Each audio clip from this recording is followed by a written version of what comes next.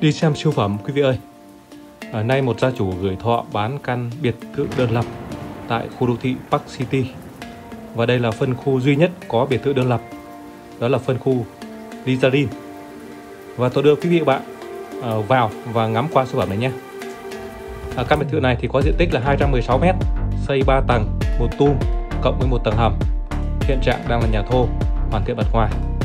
Và giá gia chủ đưa ra là 43 tỷ có thương lượng. Vậy quý cô bác nào quan tâm, sở hữu về sống trong cái quần thể đô thị nghỉ dưỡng này, thì liên hệ ngay với tôi theo số máy 0913 79 85 58 để xem nhà và đàm phán giá mua nhé.